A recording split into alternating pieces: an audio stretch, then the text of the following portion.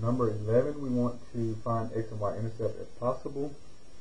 So notice that this equation does not have both x and y. So it will not have an x-intercept, it will only have a y-intercept because y is the only variable present. So y 6y equals 48. Right, so since we only have y, we will only get a y-intercept. Um, I'm going to divide by 6.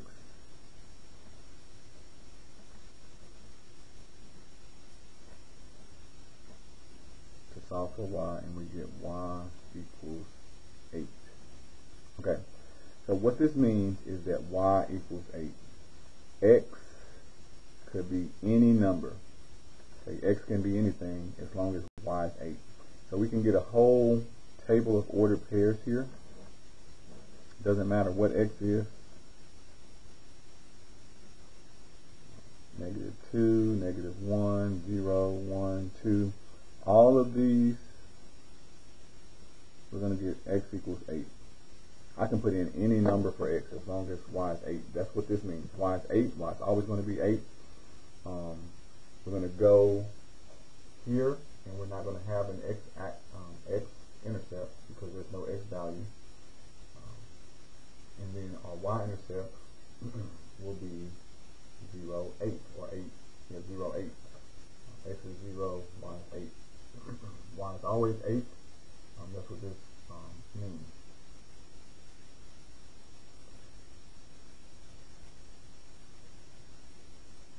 So we completed the assignment. Now we're going to graph it. So I'm going to go up 8 units. Give me one point, and then I'm going to take this line, and I can put it anywhere as long as y is 8. Okay? Anywhere along this line. And that's how you're going to graph a equation that only has one variable. It's going to be crossing that axis only as the number that you got when you solve. And then number 12 um, will be our final one. And I'm also going to take time and simplify this.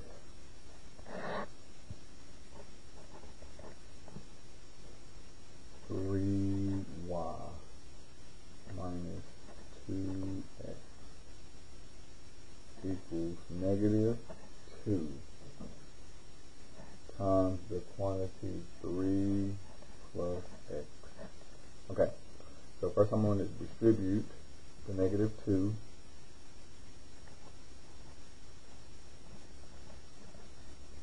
That'll be a negative 6 minus 2x. Alright. I'm going to combine my x terms. I'm going to add 2x.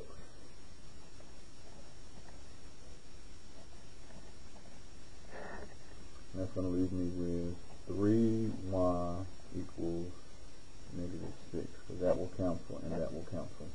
And then again, I'm left with just a term with y only. So it could be that you're left with x only. Um, y only will give you a horizontal line.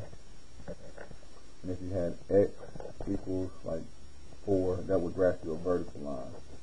And you would stay on x equals 4. But here we just have y again, so we're going to divide by 3. And that's going to give us y equals negative 2. So same thing, we're going to have intercept of 0, negative 2. y is always going to be negative 2, and I can pick any other point that I want as long as y is negative 2. So that's what that, that means when this is the case. So again, no x is present once we simplify, so we will not have an x-intercept.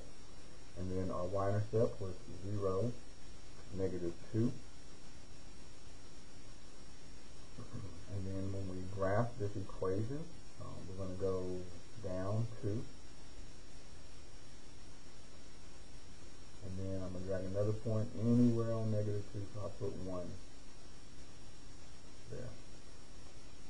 You can also see that same thing on your calculator. If I go to y equal, I'm going to clear this out and type negative 2. So when you do that, make sure you do the negative below 3.